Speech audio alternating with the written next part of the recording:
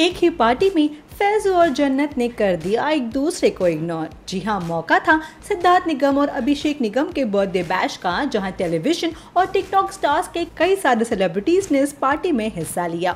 और फैंस हमेशा से ही चाहते हैं कि वो फैजू और जन्नत को एक साथ देखे, लेकिन पार्टी के दौरान ये दोनों हमें अलग अलग नज़र आए, जिसके बाद फैंस ये अनुमान लगा रहे हैं कि all is not well between Faizu and Jannat. यही कहना चाहूँगी कि मैं बहुत खुश हूँ कि वैसे मैं बहुत खुश होती हूँ जब उनका बर्थडे आता है बिकॉज़ uh, ऐसे हम यूजुअली जाते हैं तो किसी एक के बर्थडे में जाते हैं लेकिन हमारे पूरे ग्रुप में यही हैं जिनका uh, दोनों का बर्थडे एक ही दिन पर आता है तो ऐसे डबल सेलिब्रेशन जैसा लगता है। और फिर यहाँ पे आने के बाद और सरप्राइजेस मिल गए तो I am very very happy and I would love to congratulate them and give them all the love and all the best wishes आपने नहीं सुना था, मुझे पता ही नहीं था।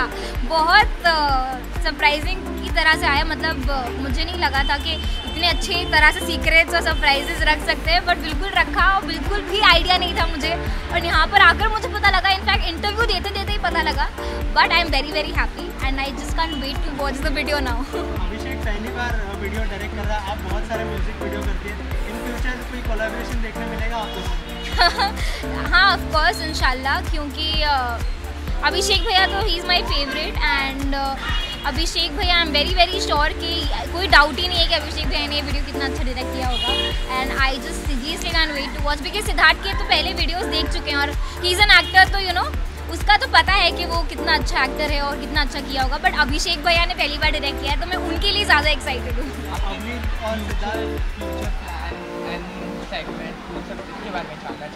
फ्यूचर प्लान्स बहुत सारे हैं और एल्बम्स बहुत सारे शूट हो गए हैं और बाकी शूट भी करने हैं। लेकिन वो सब का अपडेट मैं आप लोगों को देती रहूँगी सो यस दैट्स इट किसको?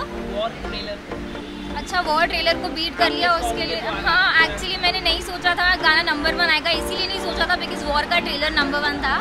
लेकिन जैसे जैसे मैं सोचती नहीं हूँ, वो सब आप लोगों के प्यार की वजह से हो जाता है। उसके साथ भी वैसे ही हुआ।